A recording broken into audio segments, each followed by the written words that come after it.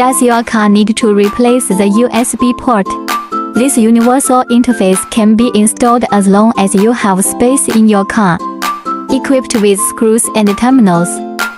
With two holes, you no longer have to worry about finding the charging port. And equipped with a rubber dust cover to ensure service life.